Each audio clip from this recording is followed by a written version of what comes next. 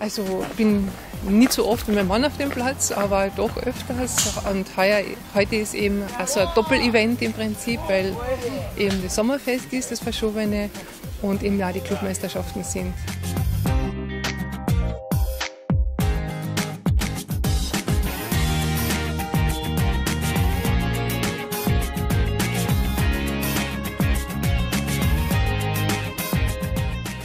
Spiele ich einfach. Mein Vater zum Beispiel, ich bin jetzt aber der Einzige von meiner Familie, der spielt. Zum Beispiel mein Vater, der ist jetzt heute nur Betreuer und teilt halt Getränke und so aus.